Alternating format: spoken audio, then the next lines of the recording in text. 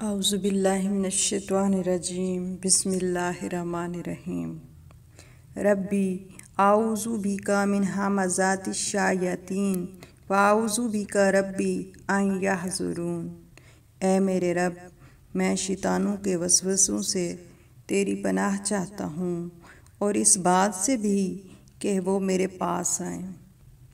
रसूल अल्लाह सल्लल्लाहु अलैहि वसल्लम ने इस आयत से मिलते जुलते अल्फाज में एक दुआ सिखाई और रात को सोते वक्त पढ़ने की तलकिन फरमाई ताकि हम हर किस्म की घबराहट से महफूज रहें।